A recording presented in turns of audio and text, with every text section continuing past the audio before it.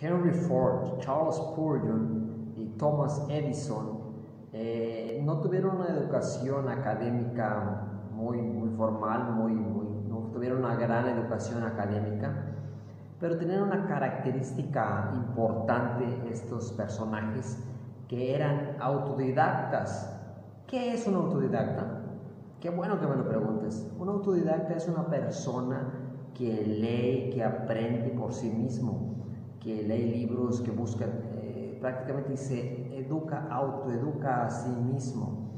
Y estas personas eh, pues estudiaron lo que ellos les, les gustó, les convenía, les, les interesaba, ¿no? Y hoy en día eh, no hay excusa para que nosotros no podamos también ser autodidactas. Y la verdad, la razón de este video corto es animarles, instarles a que seamos autodidactas, que nosotros también estudiemos, leamos.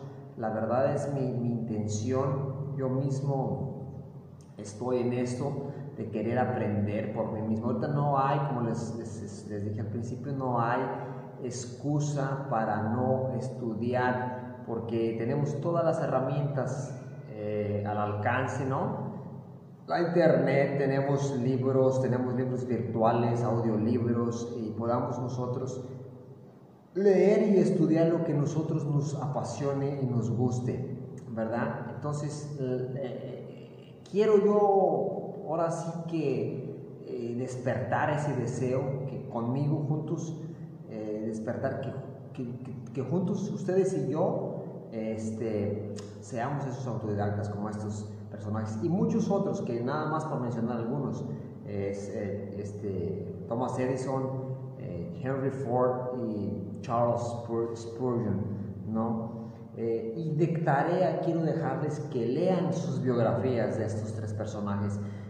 Charles Spurgeon fue un predicador cristiano, pero me llama la atención que este hombre tenía tanta hambre por aprender y leer, leía muchísimo, se dice que leía seis libros a la semana, llegó a tener su biblioteca personal de más de 12 mil volúmenes de libros, imagínate 12 mil libros, o más de 12 mil libros que leyó él durante su ministerio, su vida.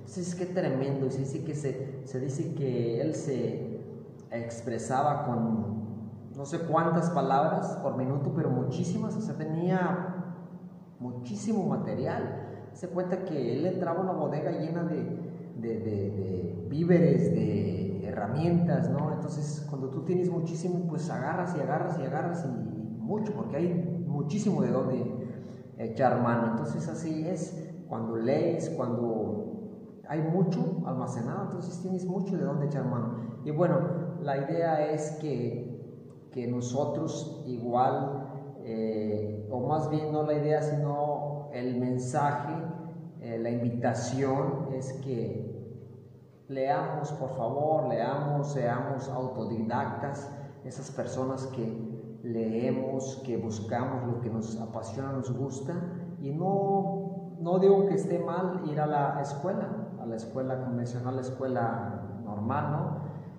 Pero pues mucha gente, algunos hasta con alguna licenciatura o maestría, si tú quieres, eh, terminan ya su maestría o lo que sea y hasta ahí quedaron, ya no se siguen eh, cultivando, ya no siguen leyendo, entonces este, pues estancan. Y tú y yo quizás no tuvimos esa, educación, estudios, pero igual podemos nosotros, eh, nosotros mismos auto enseñarnos, auto educarnos, ser esos autodidactas. Es el mensaje, jovenazos. Saludos.